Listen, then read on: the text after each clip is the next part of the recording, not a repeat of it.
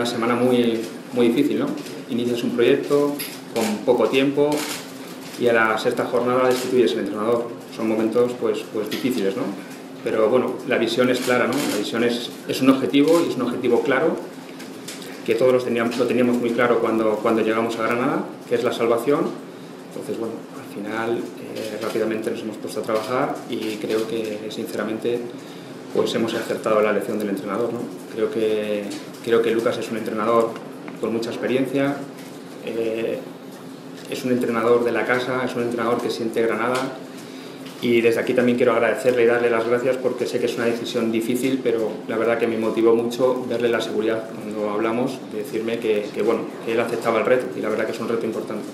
Por supuesto que sí, que, que podríamos hacer muchos, un ejercicio de autocrítica y me considero responsable y, y, y, culpable en determinadas decisiones, pero creo que no es el momento de hacer la autocrítica. Ahora mismo lo que tenemos que pensar única y exclusivamente es en sacar esto adelante, eh, aceptar las críticas, por supuesto, que las acepto y, bueno, y, y, pido disculpas si las tengo que pedir, pero no quiero, no quiero perder energía en pensar ahora lo que he hecho mal, porque ya lo sé. Ahora quiero pensar lo que debemos de hacer bien para, para mejorar, para crecer y para, y para intentar conseguir el objetivo. Bueno, yo creo que se ha juntado todo un poco, ¿no? La verdad es que, que las cosas no, no empezaron bien.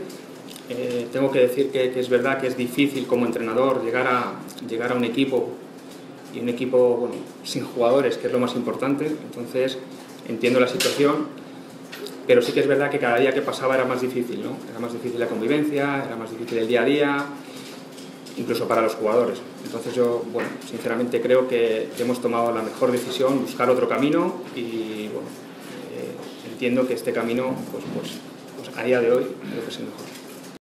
Yo creo que no es el momento ahora mismo de hablar de esto. Es diciembre quedan dos meses. Yo creo que lo más importante ahora mismo es pensar en el presente y el presente es sacarle el máximo rendimiento a la plantilla que tenemos. Si llevan aquí un mes y muchos de ellos ni eso, lo importante yo creo a día de hoy es estar con los jugadores, confiar en ellos, recobrar la autoestima que la tienen por los suelos, pero no solamente ellos, yo creo que, que, también nosotros, ¿no? que, que para nosotros también es duro, también es duro estas situaciones pero sinceramente cada día que pasa pues estamos más convencidos de que, de que podemos sacarlo.